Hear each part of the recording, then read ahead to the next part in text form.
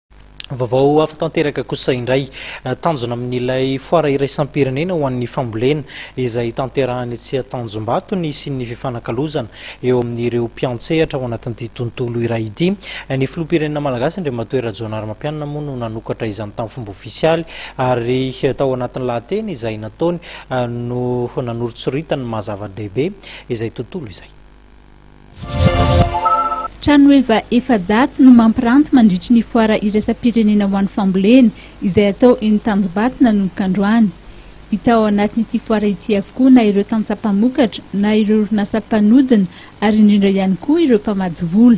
Tanjona raha ny nambaran'ny minisitrim-panjakana Rivo Rakotovao izay misahana ny fiompiana sy ny fambolena ny hampifanantonana ireo mpamokatra sy ireo mpamatsy sy mpampindram-bola mba hahafahan'izy ireo miara-miasa. Ny filoham-pirenena Hery Rajaonarimampianina kosa nandritry ny fandraisam-pitenenana nataony dia nanambara fa misy tokoa ny andraikitry ny fanjakana amin'ny fampivoarana ny fambolena ka nolazainy fa hanampy ireo tantsaha sy mpamokatra ny fanjakana. Ny mponina antompon' ilay taha-pamokarana. dia tsy nitombo nanaraka izany fitombon'ny mponina izany.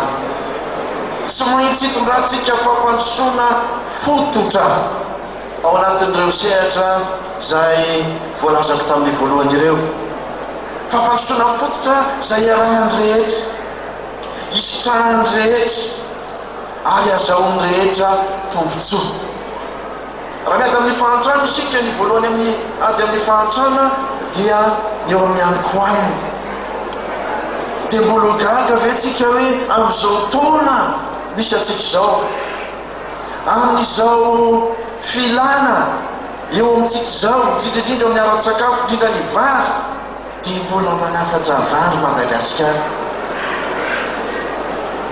Nefa any amin'ny tany hafa, dia efa manondro mototsika afaka mifidy dia satria misy manana ambabava afaka anondranana izany no tsy maintsy sitrantsika fampandrosoana hiadiana amin'ny tsy fahampian-tsakafo.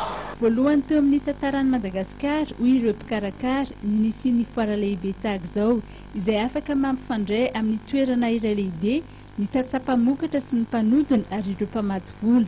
ny filoham-pirenena Hery Rajaonarimampianina, niaraka tamin'ireo mpikambana maro ao amin'ny governemanta izay notarihan'ny praiminisitra Mahafaly Solonandrasana Olivier, no nanokatra tamin'ny fomba ofisialy ity foara iraisam-pirenena ho an'ny fambolena izay haharitra efatra andro ity.